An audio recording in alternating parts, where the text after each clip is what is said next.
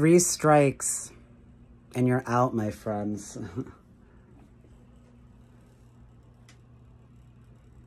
Three strikes.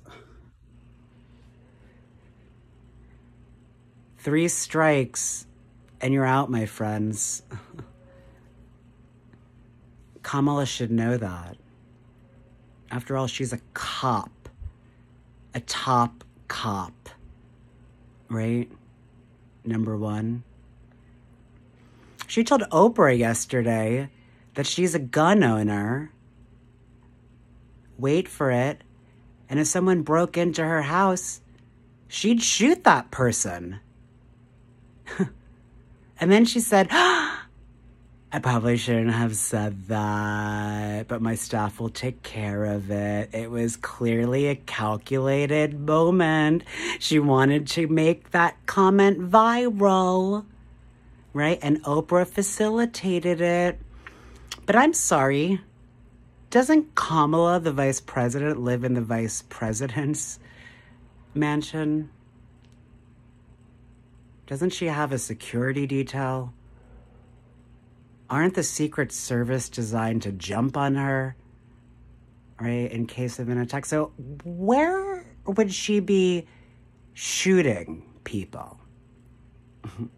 That's just the start of the problem, right? Because at the beginning of the week, she said in response to the assassination attempt on Trump that there was no place for violence in America, but by the end of the week, she was advocating for vigilantism, which, in my understanding of American history, has basically exclusively been used against Black people by white supremacists. So, why is she now endorsing? Vigilantism. And how does that square with her past as a attorney general? Because I'm pretty sure it's not legal in California to stand your ground, but it's certainly legal in Florida, where my birthday twin, one Trayvon Martin, was gunned down by George Zimmerman, or does Kamala not fucking remember that? Right? What about Black Lives Matter, Kamala?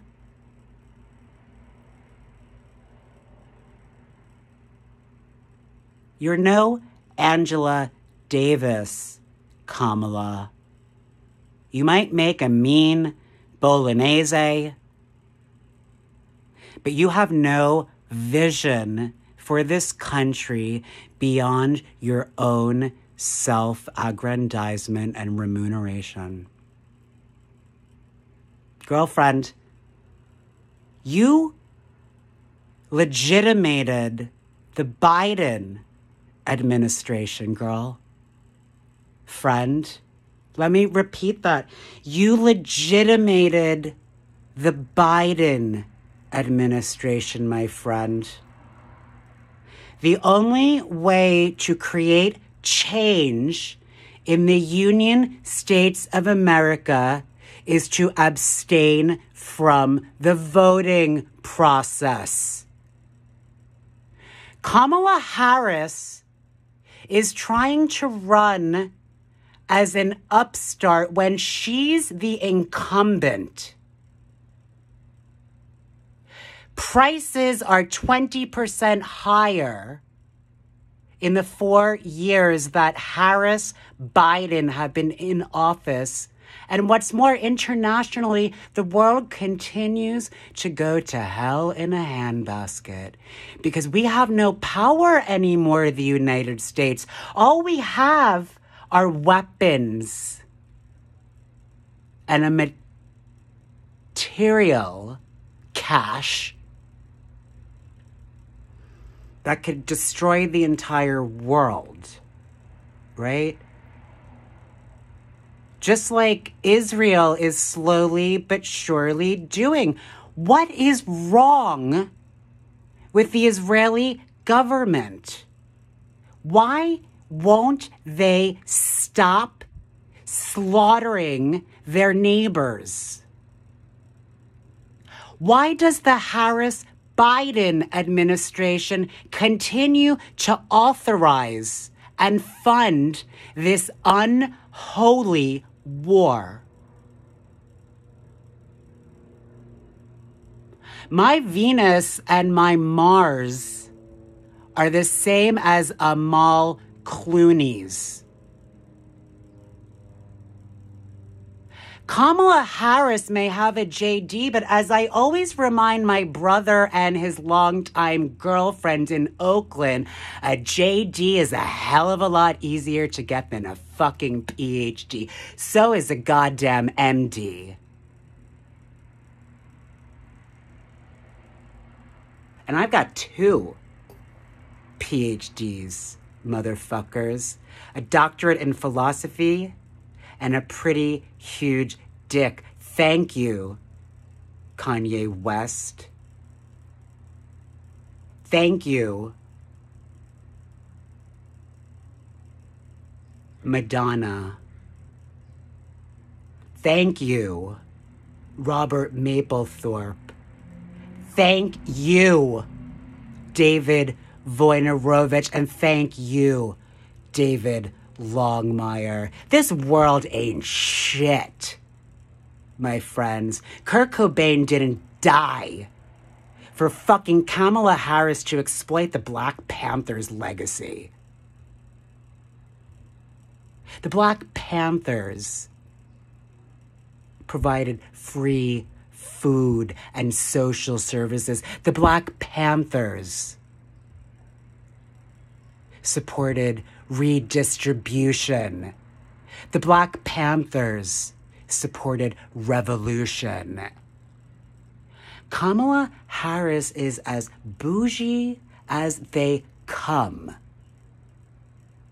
And girl's gonna lose this election because she's playing conservatively.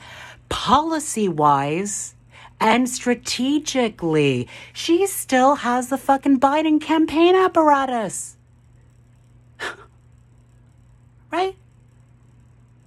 This country is stuck in a downward spiral because of the afterlives of slavery. The Electoral College is one of the afterlives of slavery. Yale University agrees with me on that point.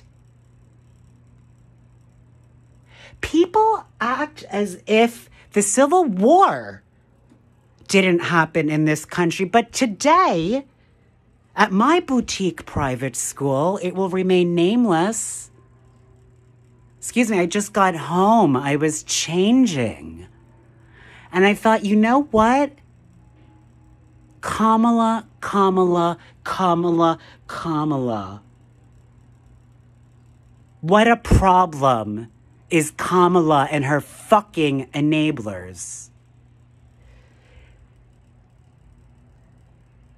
Here's what's gonna happen, my friends.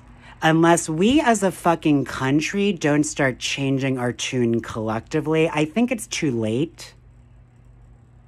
Right? But the United States is going to increasingly lose its influence.